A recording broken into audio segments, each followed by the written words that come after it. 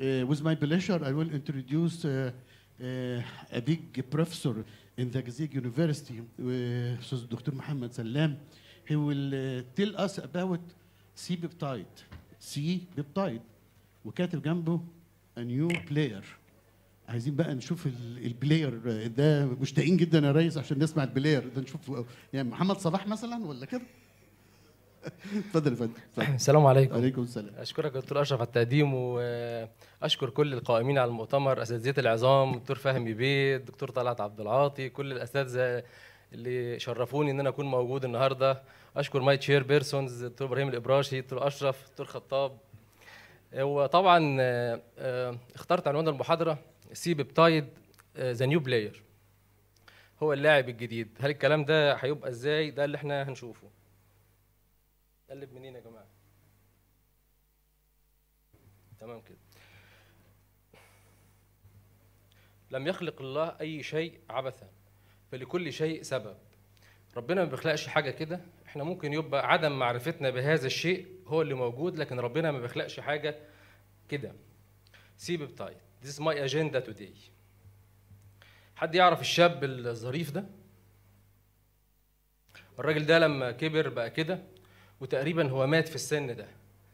ده آه، بول لانجرهانز الراجل ده كان طالب في كلية الطب في ألمانيا في القرن الثامن عشر وهو بيفحص خلايا البنكرياس تحت الميكروسكوب وعارف طبعا إن في exocrine gland اللي هي ال acinar cells.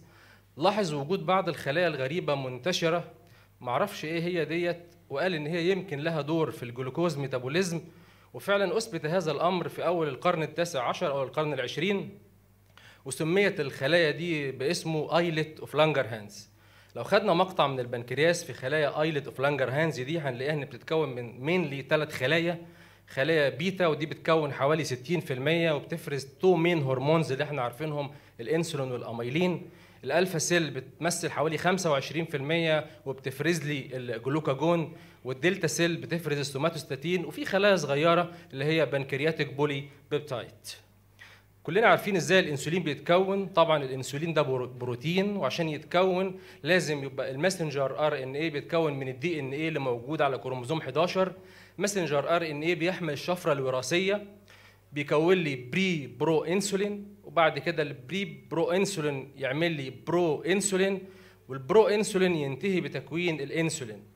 طبعا ال pre pro insulin بيتفصل منه N terminal مجموعة من ال amino acid عشان تعمل لي ال pro insulin pro insulin بتكون من A chain و B chain و C peptide C peptide دي اللي هي ال connecting peptide بعد كده بيشتغل عليها انزيم تاني يفصلها عشان تبقى ال C chai- ال C peptide لوحدها والانسولين في ال form بتاعه والشكل اللي معروف في ال excretory vesicle A chain B chain ومتصلين ببعض ب disulfide bond طبعا زي ما الدكتور فوزي استفاض إن الانسولين دهوت بيطلع في الخلايا عشان يشتغل يشتغل على ال insulin receptor كأنه مفتاح بيفتح الباب يقوم الجلوكوز يخش جوه الخلايا. يبقى ال main function في الانسولين إن هي تدخل الجلوكوز جوه الخلايا فبتقلل لي ال hyperglycemia what about the new player الراجل اللي كان واقف على الكورة زمان وخد شهرته من أربع سنين. C peptide ال C peptide الحقيقة اكتشف سنة 1967 مع ال biosynthesis of insulin لكن ال first documented use له كان في 1972 لما استخدم ك test ال C peptide 31 amino acid. بيختلف من ال species من بعضها على عكس الإنسولين اللي غالبا بيبقى ثابت وعلشان كده إحنا ممكن نستخدم ال bovine insulin. هو released in equimolar amount للإنسولين يعني بيطلع واحد إلى واحد ratio ال C peptide بيتشال من ال peripheral circulation في constant rate ال metabolization بتاعه في ال kidney 5 ل 10% excreted unchanged في ال urine. ال C peptide excreted بال kidney ال half life بتاعه حوالي 20 ل 30 دقيقة والحقيقة هو بيختلف عن ال half life بتاع الانسولين اللي بيبقى 3 ل 5 دقائق وغالبا يبقى hepatic metabolism علشان كده أنا أقدر أعتمد على ال C peptide as an attractive proxy for estimating insulin secretion and beta cell function.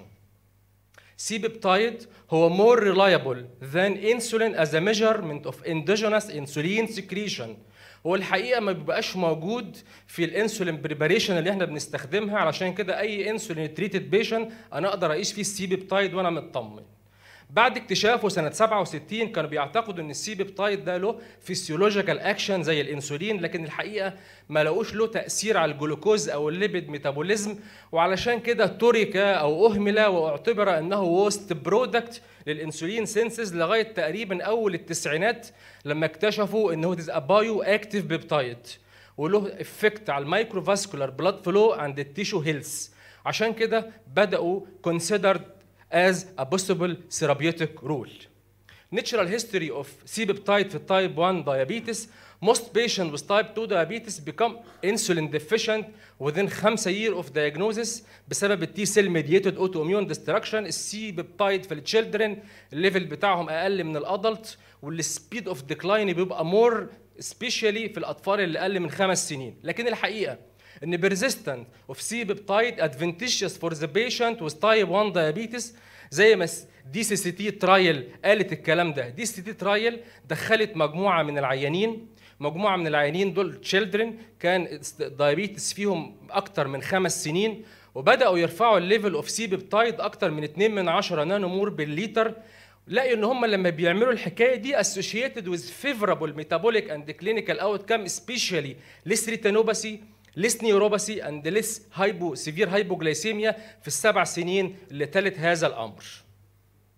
بيولوجيكال رول الحقيقة اعتمادنا الاساسي for prevention of diabetic complication على good management of hyperglycemia لكن up to date لغايه دلوقتي كل الايفورت اللي against glycemic control have not been entirely successful in preventing long term complication مما دفع إلى الحاجة إلى other alternative therapeutic strategy targeting etiological factor for diabetic complication عشان كده لقينا ان ال C peptide now is a biologically active molecule that initiate intracellular signaling cascade through interaction with a specific receptor يبقى ال C peptide لها specific receptor على ال cell membrane in special cells بيبقى موجودة تقريبا في ال endothelial cell موجودة في ال renal tubular cell موجودة في ال neuronal cell. ال C peptide لما attach لل receptor ده ب initiate signaling pathway signaling pathway بت stimulate intracellular molecule dependent على الكالسيوم. especially protein kinase C especially mitogen activated protein kinase.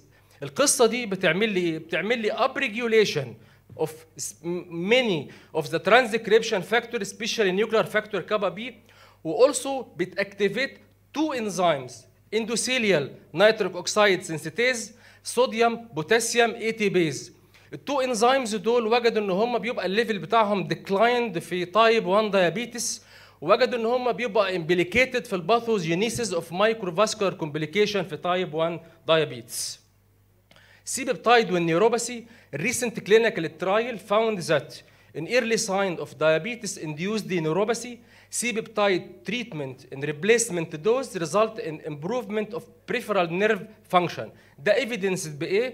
evidence increased nerve conduction velocity increased في النيرف صوديوم وبوتاسيوم ATPase activity significant amelioration of nerve structural changes طيب as regarding C-peptide and the diabetic kidney, C-peptide administration في animal that had C-peptide deficiency with nephropathy بتimprove renal function and structure بتdecrease urinary albumin excretion prevent or decrease diabetes induced glomerular changes secondary to mesangial expansion الحقيقة أنا بدور في ذكرياتي لقيت الصورة ديت ويعني حد يعرف حد فيها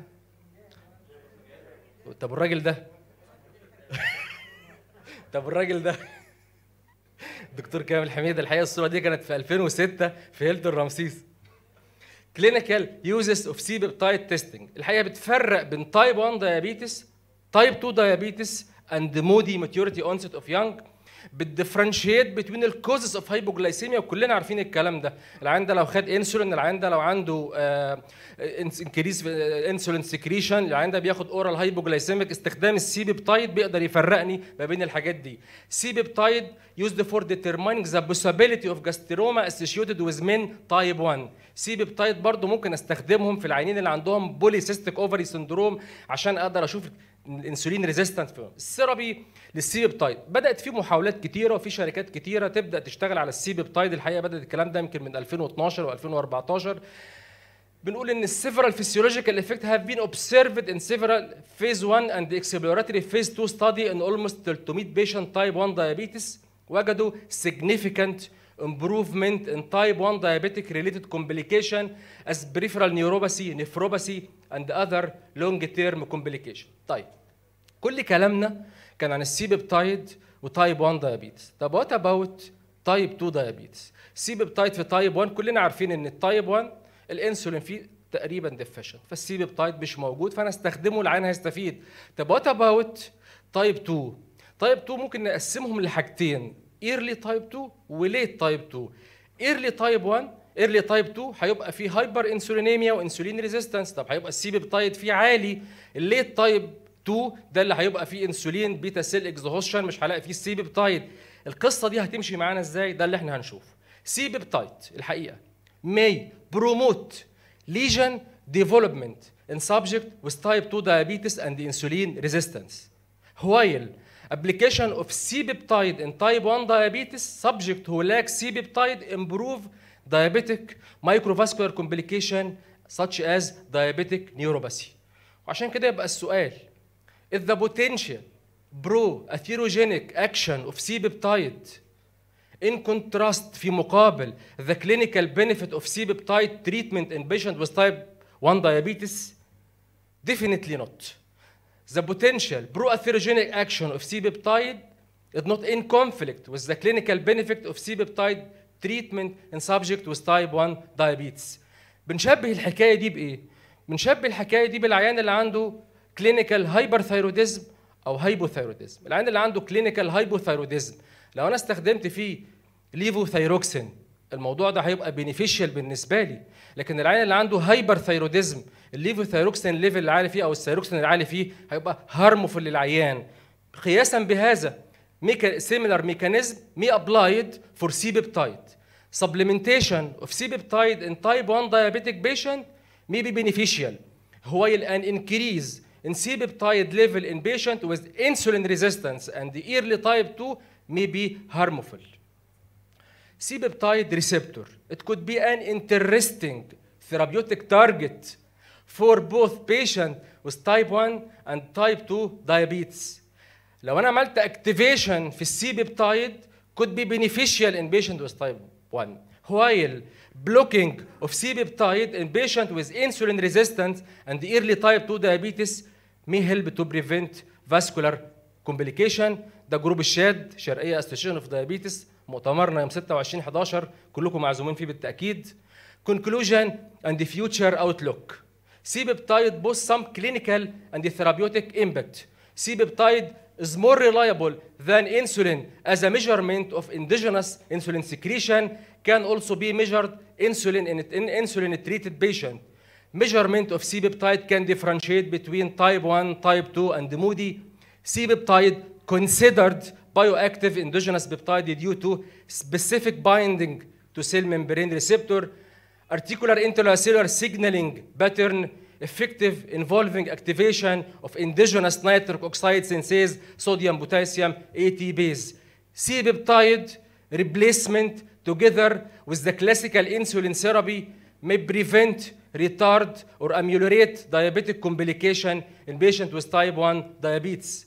ما عنديش في تايب 1 diabetes disease modifying agent اقدر بيه امنع المايكروفاسكولار complication I can hope that ongoing development of long acting C peptide will facilitate further clinical trial and allow definition of C-peptide potential role in the therapy of type 1. The development of C-peptide sensitizer or high affinity agonist would be an important next step. أنا إن قدر الإله مماتي لا ترى الشرق يرفع الرأس بعدي أبدا. Thank you. مش دكتور محمد ال elegant presentation